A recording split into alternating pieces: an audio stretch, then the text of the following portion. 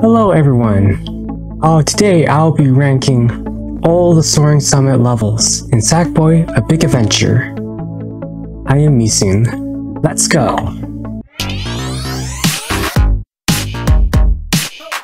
I'll not be including co-op levels because first of all, I'll never get the chance to play those levels. Because they are, well, well you'll see why, I mean, I really have nobody to play with. And going to play alone, so I'm going to exclude all co-op levels in the Soaring Sim, and there is only one. I'll also be excluding the Midnight Trials, because of course they're just trials.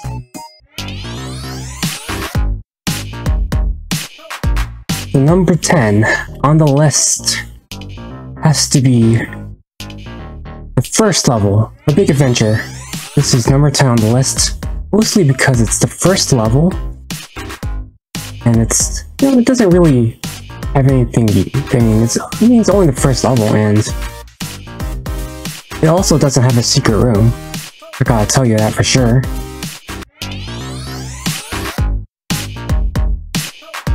Okay, so, number 9 on the list will be Ice Cave Dash.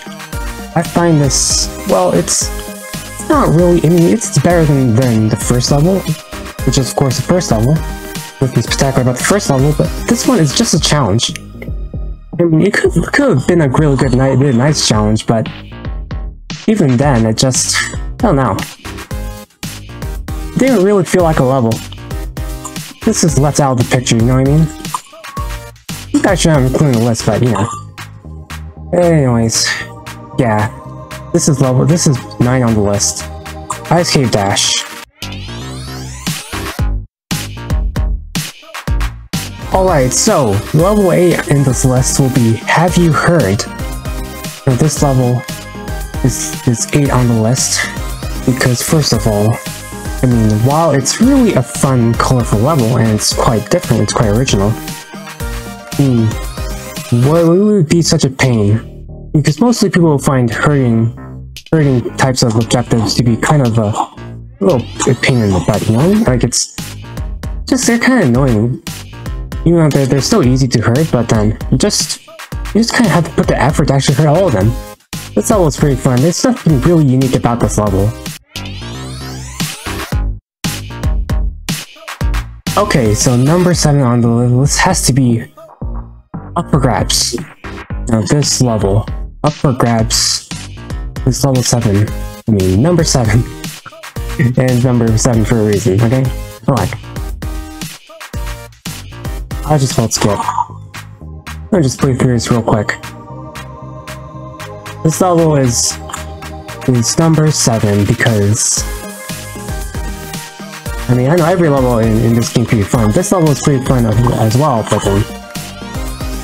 This the level design of this. Doesn't this make this feel a little kind of bland? I mean, how do I even... The only thing that's really good about this level up for grabs is the rockets! There's just one thing, one spot in the level. You got the bridge too, but then I really can't, so I really can't grasp the full feel for this level. Can't really put any, any, any notable or memorable kind of theme. That's why this level is number 7.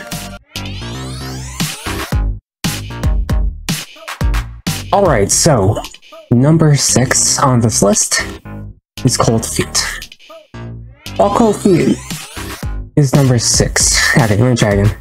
Cold Feet is number 6 because, well, it's a really fun level that you try to climb up the, oh, the mountain, mountain formation of this level. This type of design here, this, uh, it's, a, it's ice level, right? But then you, you got a level that's better than this. That'll, that'll, I'll also list it later, later. This is also a pretty cool level. And it's number 6 for a reason. The soundtrack is also, also nice.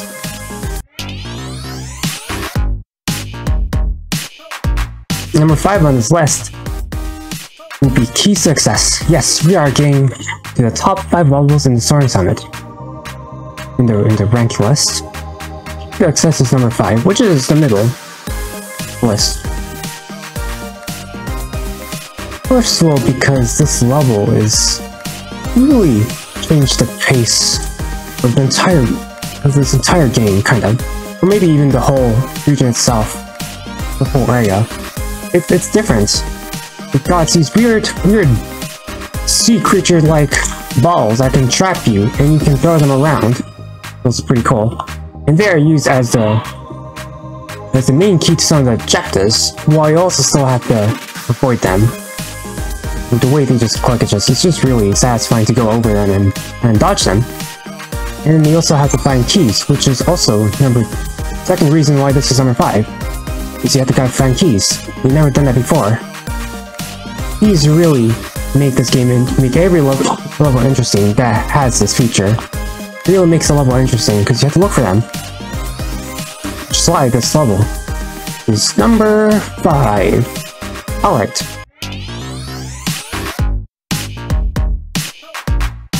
Alright, number 4 on this list, on this list will be, list will be blowing off steam. Number 4, yes! Number 4 on this list. Blowing off steam. This is the best train level in the entire game. It's number 4 for a reason.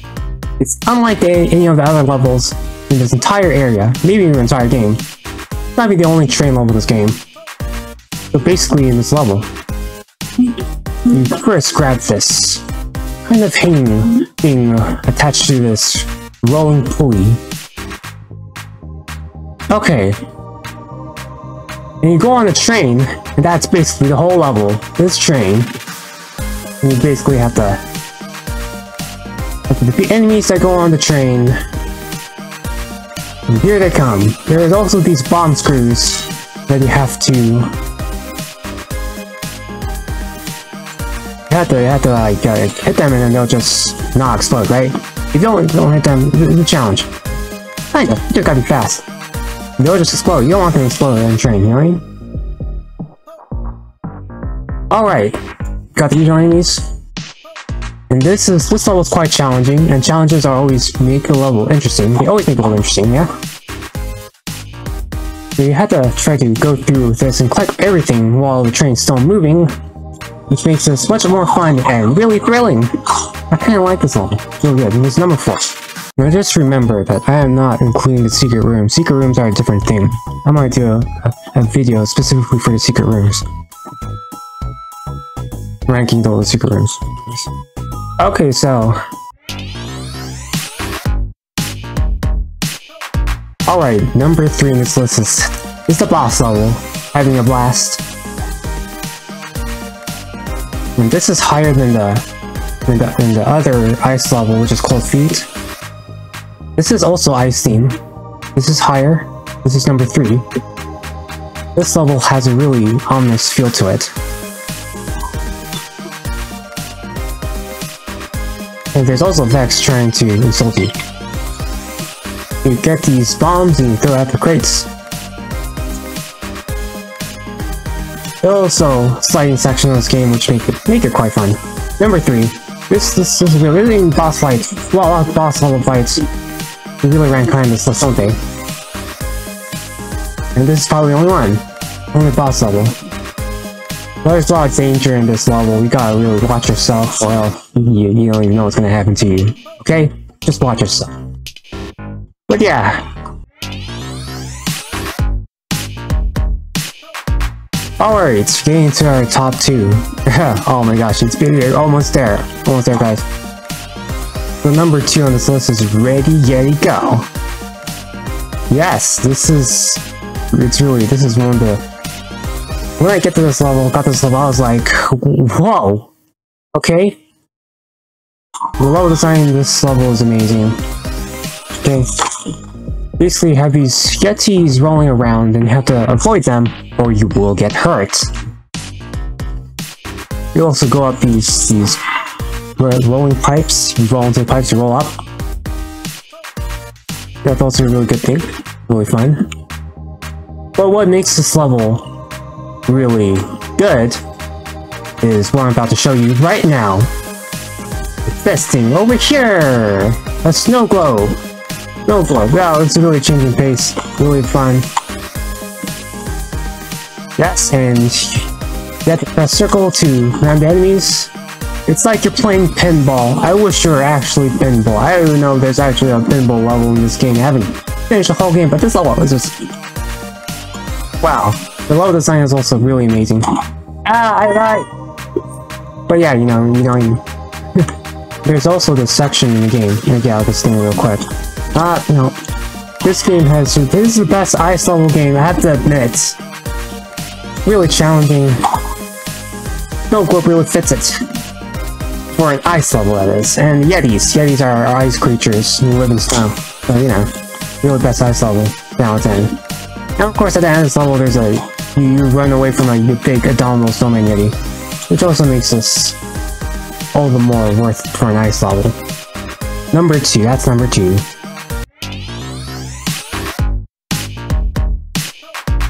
Oh yeah, you know, you know number one has to be this, right? That's the Trouble in Paradise. This is my absolutely favorite Soaring Summit level. This probably will be in my top 5 for all levels combined that I will not make right now. I can't make because I haven't played the whole game. This level is just too fun. Too fun. It's too amazing. It's too excellent. What can I say?